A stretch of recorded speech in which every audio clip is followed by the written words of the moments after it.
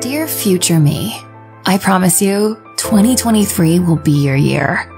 I know you have what it takes to build a life you can't stop thinking about. You just have to believe it. Trust me, it's time you start focusing on yourself to become your best self.